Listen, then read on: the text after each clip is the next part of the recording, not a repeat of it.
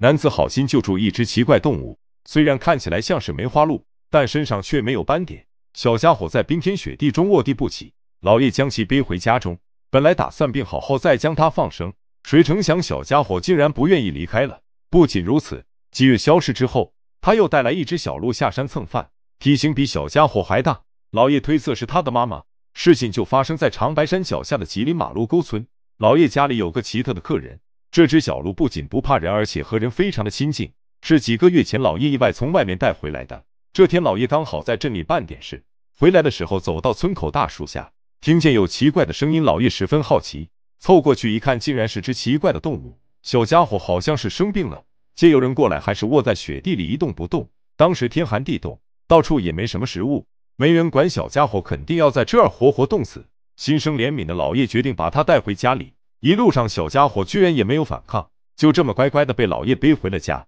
怕他乱跑，老叶将他装进一个笼子。老叶妻子看见笼子，问里边装的什么，但老叶自己也不清楚。夫妻两人看着研究了一会，见小家伙脑袋上长着一对角，耳朵直棱着，他们觉着应该是个下山找食物的小鹿，但是身上却没有鹿的花纹，非常奇怪。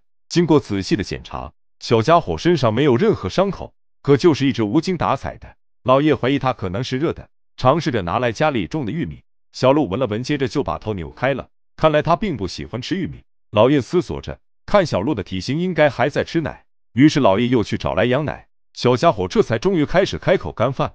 两天过后，小鹿精神恢复，胃口也逐渐打开。这才发现，原来它不挑食，什么都吃。体力恢复后，小鹿开始变得不老实起来，一直用头撞笼子，脑瓜上的毛都撞没了。老叶媳妇担心再这么下去，他能把自己撞死，于是便将小鹿从笼子里放了出来。老叶本打算就这么将其放归自然，没想到小家伙出来后，怎么撵都撵不走了。直接围着妻子随淑荣直蹦跶，在他身边左窜右跳转圈圈，就是没一点想要离开的意思。老叶寻思，估计小鹿是在野外过够了，吃了上顿没下顿的日子，眼下这里管吃管喝的跟住酒店一样，自然也就不愿意走了。眼看驱赶多次却没什么用，老叶也就心软，将其留了下来，并且还给他起了个名字叫露露。小家伙就这样在老叶家住了下来。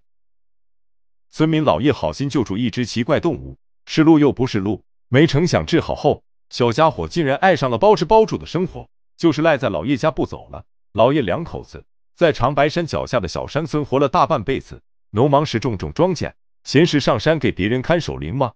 他们的儿子已经长大工作，一直在威海打工，一年也难得回来一次。平时家里只有他们夫妻俩，未免显得有些冷清。但露露的到来可以给家里增添了不少欢乐。她虽然看起来像个鹿，但是性格却跟村里的旺财差不多。经常围着人撒娇卖萌转圈圈，有时候偷吃随大姐刚切好的菜，有时又会偷偷跑到他们的炕上一起睡觉。白天老叶夫妻两人出去干活的时候，露露还会自己跑到山林里玩。但到了饭点，她肯定会准时回来。在家的时候就跟小孩一样，走到那儿他就跟到那，特别粘人，非常招随大姐喜欢。时间一久，小家伙的名声在村里越来越响，甚至有隔壁镇的村民都来看个稀奇。同时，村民们又十分好奇露露的身份。纷纷猜测这究竟是个什么动物。有人猜测露露是只梅花鹿，有人猜是只狍子。但是老叶终究还是无法做出判断。后来有不少人上门来打露露主意，最高一次竟然出价六千元。这对依靠种地为生的夫妻两人来说，可是一笔不小的收益。但这些全部都被隋大姐两口子直接回绝。他们说，经过这么长时间的相处，从小就为他伺候他，早就已经跟他产生浓厚的感情，把他当成了一家人。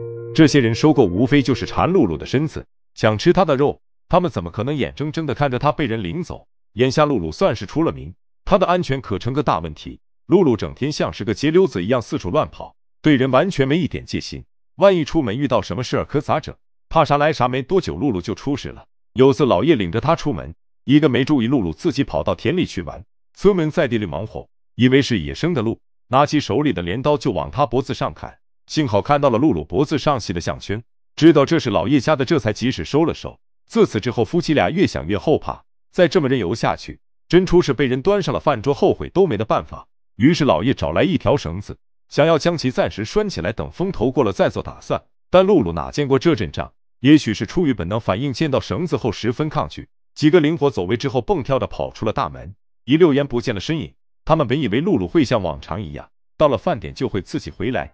没想到这一次却让他们失望了。自打这次露露出门已经过去了两天，可还不见他回来的身影。村民老叶意外救助傻狍子，自此赖着不走，过上了包吃包住的生活。通过之前的事情，老叶本想将其拴住，却没想到他跑出门后几天未归。更令他们没想到的是，几周之后露露会给他们带来一个惊喜。当时老叶和媳妇急坏了，起初他们还想正好趁着这次机会将露露放回自然，但是时间越久，他们越觉得心里空落落的，也逐渐开始越担心。露露是他们从小在家里养到大的，外面冰天雪地，她真的能生存下去吗？万一她在外面撑不过整个冬天怎么办？万一被人抓住了又该咋整？两人看着清静的院子，感觉到一丝冷气，他们再也坐不住了。于是两人便走出家门，在村子附近找了起来。见村子里没有他们，又去了附近的山上。就这样持续一周时间，都没找到露露的踪迹。老叶安慰妻子：“露露本来就是野生动物，现在离开了也是好事，外面才是他的家。”看得出来，虽然他嘴上这么说，其实心里也是十分难受的。他们也开始慢慢接受了这个事实。正当夫妻俩沉浸在伤心中的时候，几天之后，他们却受到了一个巨大的惊喜。这天一大清早，随大姐起床，打开窗户，看见了令他吃惊的一幕：院子里竟然有一只怪模怪样的动物，长得也特别像鹿，但头上没有鹿角，而且体型比露露还大。老叶猜测，这难道是露露的妈妈？当老叶好奇的推开门查看时，发现露露竟然也在院子里。虽然看起来很虚弱，像是很久没吃东西的样子。但当见到阔别已久的亲人，便在随大姐面前拼命的撒欢，看着瘦了一圈的小家伙，大姐心疼的不得了。这次他们看的是再也不打算离开了。老叶非常高兴，觉得这肯定是他们之间的缘分，但他心中还有着一丝顾虑。两只小家伙的身份到现在都还没确定，万一是啥保护动物咋整？这赖在家里不走，万一被发现，露露不仅要被强制带走，可能还会面临罚款。老叶不知所措，将此事告知了镇中学的生物课李老师。李老师又将此事转达到当地动物保护协会，这下露露的身份终于真相大白。专家老唐一眼就认出，它是东北常见的野生狍子，是国家二级保护动物。它和梅花鹿有一样的习性，但体型比梅花鹿小。而另一只被露露带回来的动物，则是人工养殖的马鹿，估计是从养殖场跑出来后，在冰天雪地里找不到食物，被露露捡了回来。唐会长见老叶与狍子已经建立了深厚的感情，老叶也有继续养殖的愿望。于是唐会长就在老叶家建立了一个小型的野生食草动物救助站，露露今后也能一直待在这里。今天的故事就结束了，喜欢的朋友记得点赞关注，咱们下期再见。